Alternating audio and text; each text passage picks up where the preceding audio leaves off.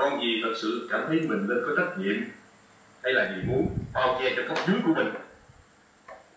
Con đừng có nói con đứng ra chịu trách nhiệm thì ba sẽ không dám đuổi việc con nữa Dạ. Thôi đủ rồi. Cậu nhân cậu xử lý chuyện này rồi báo cáo lại cho tôi. Dạ sếp mời vào. Dạ. Dịch Nhan, bà Tư, bà Tư với chị với bà Mai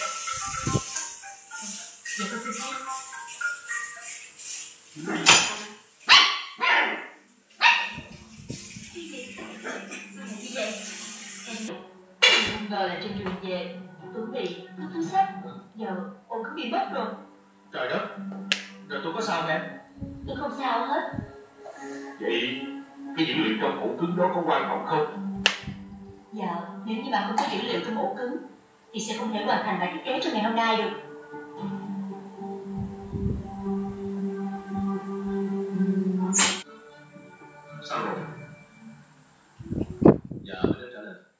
Họ chờ đến một 12 giờ đi, họ cũng được. Chứ đưa qua ngày mai thì không được.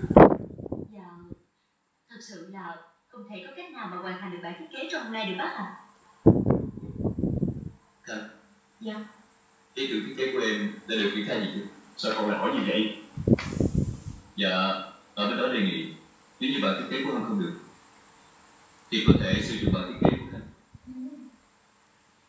có ai đi triển khai ý tưởng Không được chọn là bản thiết kế làm gì